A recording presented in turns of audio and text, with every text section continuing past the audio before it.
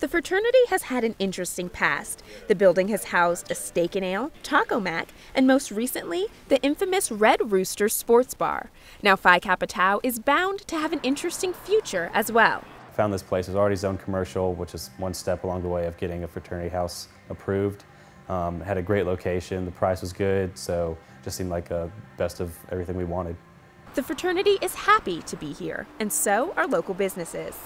Yeah, I'm glad to see anything in there because it, it, looked real bad for a long time and nobody was keeping up on it. And I kept hearing things were going in and then they weren't, and then they were going to tear it down, and then they weren't, and it just kind of sat there for five years doing nothing. So I'm really glad to see something happening. It's all pretty and repainted and nice. Now that's a reaction that surprises these fraternity members. Yeah. It's, it's very unique to have neighbors that are excited about a fraternity to be here. Other fraternities have a bit of advice for the members of Phi Kappa Tau. Respect your new house, take good care of it. It can come and go just, you know, just as fast. After talking to the neighbors, they all agreed on one thing. Welcome to the neighborhood.